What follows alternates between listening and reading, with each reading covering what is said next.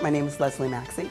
I'm from Morristown, New Jersey, originally California, and we came to MMLA with a recommendation from a friend. My son Nicholas is 13 and he studied at Swarthmore College and he uh, studied Chinese. He's always had a love of Asian culture. He loves Japanese anime, he cooks Chinese cuisine, he's kind of a renaissance kid. And with this love that he has of Asian culture, I said, you know, anything that I can do to encourage him, but not push him, because if you push, they automatically resist. So for him to pursue it and then me to do everything I can to support it really seemed to be a combination that worked well. Character writing was hard for him because it takes some level of consistency.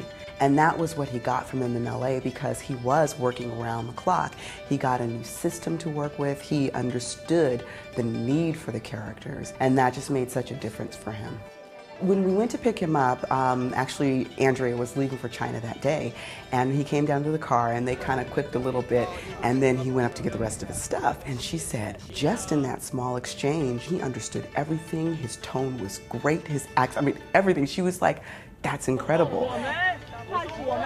From my perspective, I want to position him to really be a, a, global citizen, for him to be able to, to connect on a variety of levels. If it's cooking, if it's literature, if it's music, if it's culture, you know, to be able to connect in those ways so people don't seem so foreign. When we're familiar with something, we tend to be a little more patient, a little more compassionate, a little more giving, and I think anytime that those core values can be extended, no matter what the catalyst, it's a winning combination.